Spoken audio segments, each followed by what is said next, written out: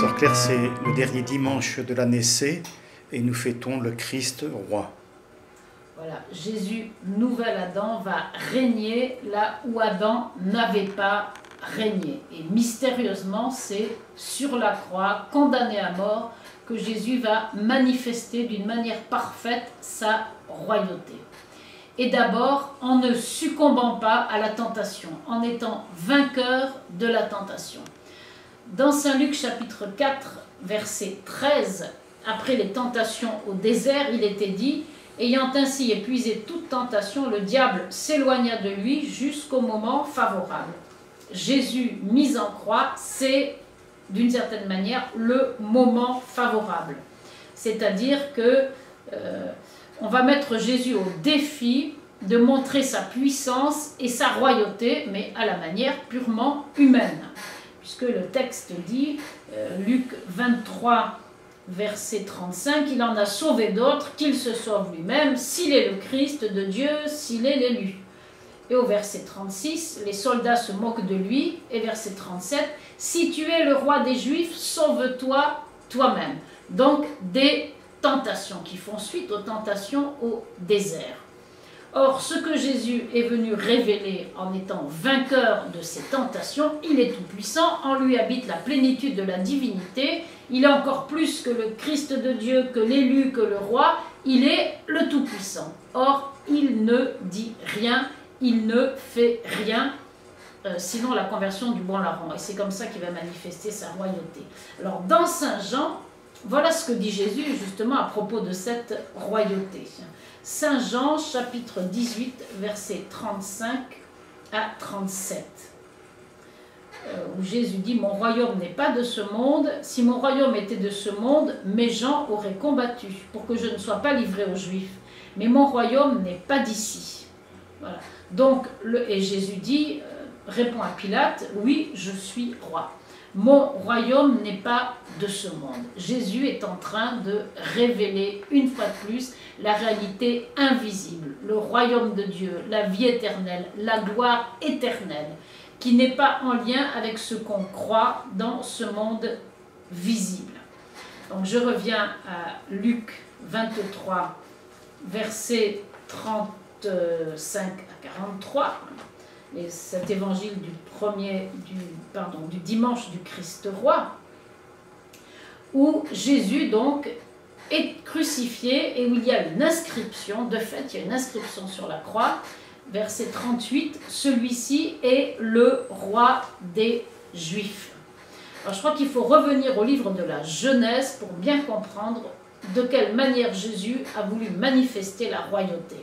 Dans la Genèse, il était dit, chapitre 1, verset 26, Dieu dit, faisons l'homme à notre image et comme notre ressemblance, et qu'il domine sur, ben, tout l'univers et sur lui-même, évidemment.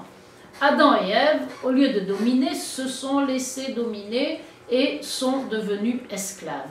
Jésus vient nous rendre la liberté.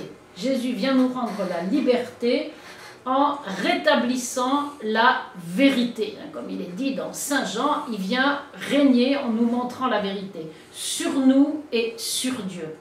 Et roi, celui qui connaît la vérité, qui obéit à la vérité, qui s'installe dans la vérité, envers et contre tous, ou envers et contre tout.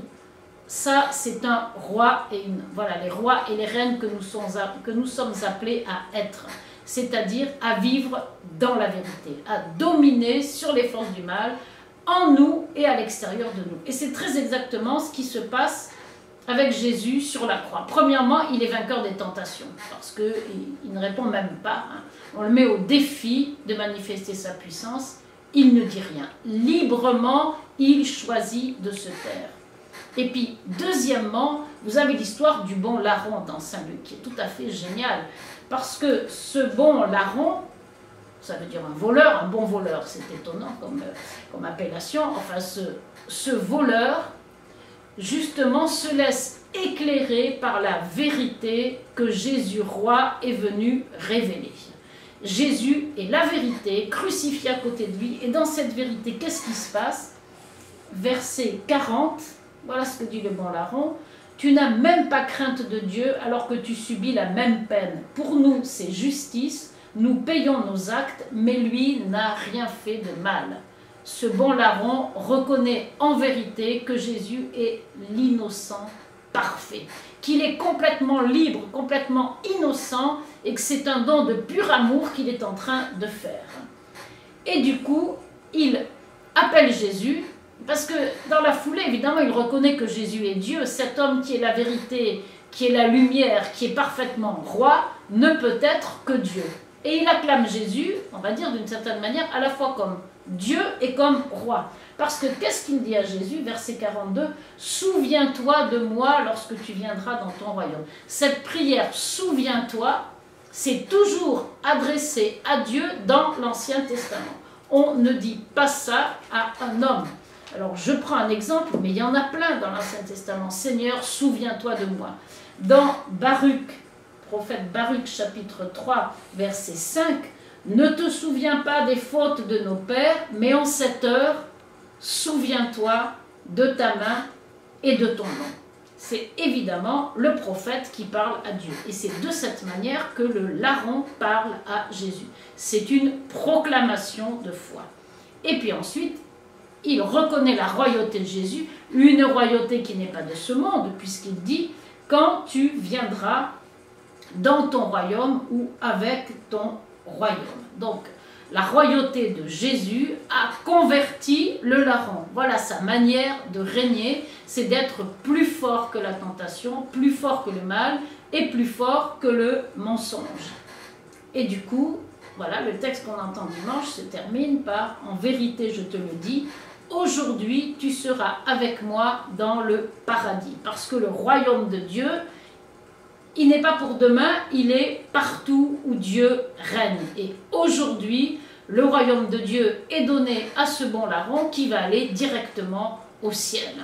Parce qu'il a reconnu son péché, parce qu'il a reconnu que Jésus était roi.